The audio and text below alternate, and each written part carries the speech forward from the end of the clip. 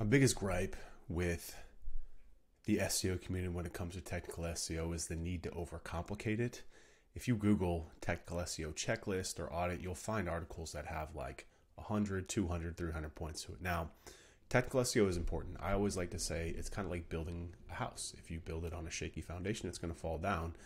That's really what technical SEO is. It's the foundation of a campaign. You can build as many content as links as you want, but if you don't have the foundation of the house built properly, it's going to fall down in the future. and It's going to be very frustrating because you're not going to know what it is. Now, the challenge is, is figuring out how you can deliver technical SEO when you've got a ton of clients. You might not have the skill set in house because technical SEO expertise is expensive. And hiring somebody off of Upwork, they don't always have that expertise, especially with the type of clients that you want to work with.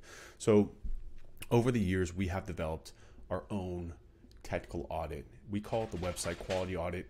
It's also AKA the Swiss Army knife of audits because this one audit allows us to knock out the technical things, content audit, um, keyword research, and content planning. And it basically takes the the need for multiple deliverables, especially that long technical SEO audit checklist that honestly 80% of that stuff doesn't really do anything. You want to focus on the small amount of things in technical SEO that are actually going to have an impact on a campaign. And that's exactly how this audit was built within mind. So what's really cool about this too is it runs completely in Google Sheets. And what it does is it pulls in data from five different sources. And we automated it too. So it pulls in Screaming Frog or Site, uh, Site Sitebulb. Um, it pulls in sitemaps. It pulls in links from Ahrefs and Search Console, keyword, keyword rankings from SEMrush, Google Analytics, and Search Console data. These six different things that it pulls in here. What it does is you can see pulls in everything here on the aggregation tab. You can see in line two here, column two, where it's coming from, Screaming Frog, if it's a manual thing that we do, SEMrush, so you can see keyword performance, you can see uh, traffic performance from GA and GSC, conversions from GA, on page data from Screaming Frog, page titles, word count, uh, followed links from Ahrefs, more stuff, uh, canonical if it's in the sitemap, uh, if it's indexed or non-indexed, the status code, and it aggregates it at the URL level. So every single page on a website has all this SEO data, and what it allows us to do is go through and tag the page by, by category, right? So we have all these categories built in. These are pre-built in too to this template. It's really cool. And then we have technical actions and content actions. So it allows us to go through and very quickly analyze every page on a website and assign an action to it. So we have an action, either technical or content. You can see all these different actions that we have here, all the different content actions that we have here, which allows us to make a decision about how we want to handle this page. So now we have both the technical audit and essentially a content audit done in one fell swoop, if you will.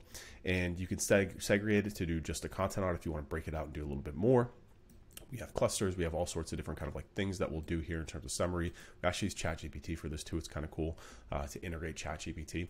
And you might be asking, why not just use Sitebulb or Ahrefs or Screaming Frog? And the reason is because that all needs to end up in a spreadsheet anyways when you really want to do the analysis. Those tools are great. That's why we use their data.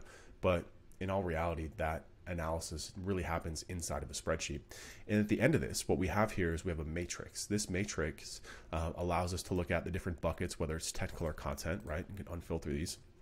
And then we set up actions off the back of this so that way things don't just fall by the wayside and don't get done, which is another common thing with technical SEO. You do all the work and it ends up going nowhere because you didn't push to the next stage, which is implementation. So this matrix that we fill out off the back of this, we just literally take the actions, the URL actions that we have, we compile them here, and then we push them into a project plan to get done.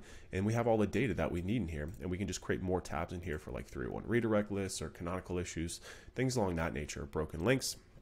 So everything is done in here inside the spreadsheet. And this is how we've mitigated the problem of uh, too much time spent on technical SEO or deliverables that don't really mean anything. We now also have a process and an SOP that we use to run this, so we're able to hire people that don't necessarily have the technical background that you see on SEO Twitter talking about things that, in my opinion, don't really matter. So, if you want access to this, I'm giving this away as a part of our latest boot camp inside of the Blueprint training. You'll get access to this, you'll get access to the SOP, you'll get access to some other really important documents too. And I'm going to teach you live uh, and also via video training on exactly how you could run this, or you can just send me your team and I'll train them for you. So if you want access, just let me know. It's yours.